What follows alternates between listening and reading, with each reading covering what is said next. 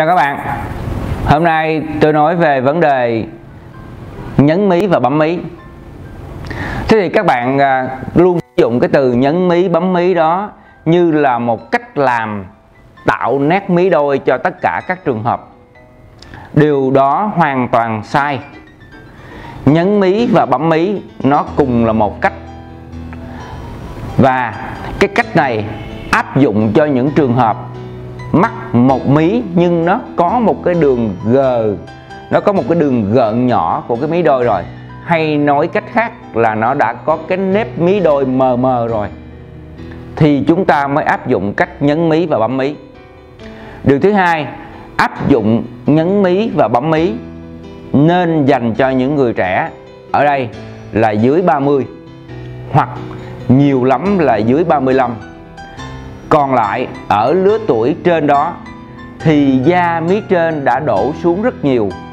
Chúng ta chọn phương án nhấn mí, có nghĩa là tạo một cái nếp mí đôi ngay trên bờ hàng mi. Thì lúc mà trên 35 tuổi hoặc là trên 30 tuổi, lượng da ở mí trên nó đã quá nhiều. Vậy thì khi nhấn mí và bấm mí, cái lượng da đó chúng ta không xử lý được và như thế tạo một cái hõm mắt rất sâu, tạo cái nét mí đôi rất lớn.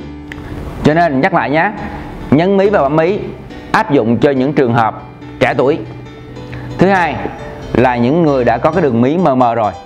Như vậy những người một mí mà nó không có đường mờ mờ đó, thì các bạn hay nói là cái này nhấn nó sẽ tuột, cái này nhấn nó sẽ thế kia, thế nọ. Thực tế nếu mà nhấn mí đúng thì sẽ không tuột và sẽ giữ mãi mãi vậy thì thế nào là nhấn mí đúng? Nhấn mí đúng có nghĩa là lấy cái bờ sụng, lấy cái bờ trên của sụng mi, may xuống dưới cơ vòng mi.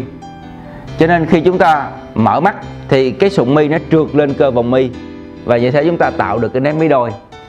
Vì vậy, ở những người mà không có cái nếp mí mờ mờ, tức là không có cái đường ngấn sẵn rồi, thì chúng ta khó lòng mà nhấn cái bờ trên sụng mi xuống cái cơ vòng mi được và chính vì khó lòng nhấn như vậy, cho nên giai đoạn đầu có cái thuốc tê chích, nhìn thấy cái đường mí sau khi nhấn, nhưng khoảng sau 3 tháng thì cái này nó trở lại như ban đầu.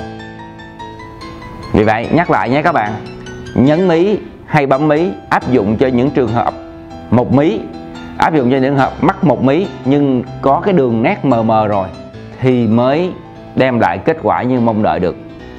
Còn lại những trường hợp mà chỉ có một mí thôi, mắt thì lại bụp to, thì rất khó nhấn mí và bấm mí.